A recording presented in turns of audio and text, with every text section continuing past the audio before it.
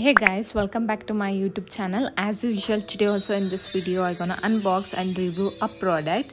So guys i bought some product from takealot.com so i'm gonna review it today.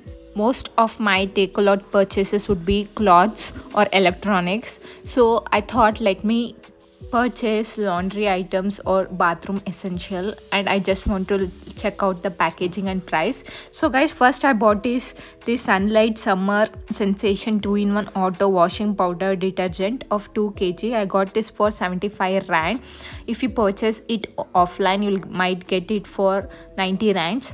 So the next one is this garnier skincare active. I already used this product and it is much needed because it is so effective and i got this product for 135 rand.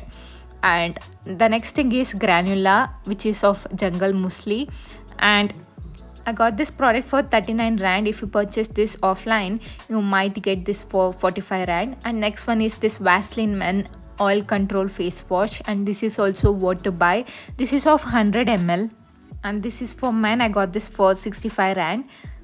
And the next thing is this Handy Andy multi-purpose cleaning cream 750 ml i got this for 35 rand all the products were in good condition but only one product was leaked that is reduct extra power foaming bleach when I received this product, the liquid was just spelled out and it was noticed by the delivery agent of takealot.com.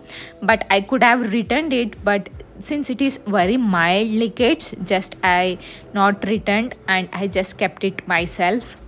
And the next thing I got is this Vanish of 500 ml and I got this for 55 rand.